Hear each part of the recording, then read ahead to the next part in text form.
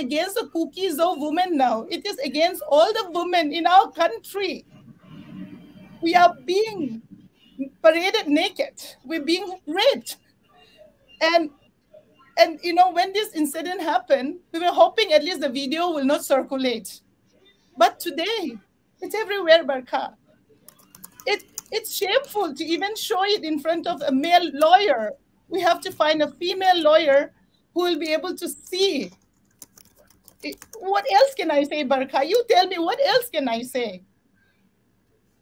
Yeah, I, I, I, you know, I have to say, I've seen, I've seen a lot in my life as a journalist, but this breaks my heart. As a woman, this breaks my heart, and I know what you're going through. If we, if we come out of these headlines and we go to Gladys, you know, one of the points you're making is it's tough to even take this video to a lawyer. It is so undignifying to watch as a woman. It is so, it fills you with violent rage. It filled me with violent rage and it filled me with so much sadness.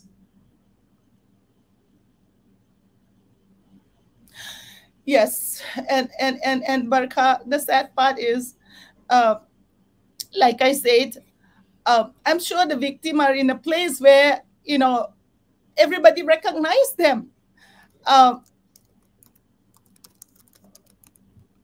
how can we protect them? How can we help them go through this trauma that they are living daily. You and I, after seeing the video, the pain that we felt as a woman, as, as, as a lady, uh, you know, nobody will understand. And now my appeal is to the women group.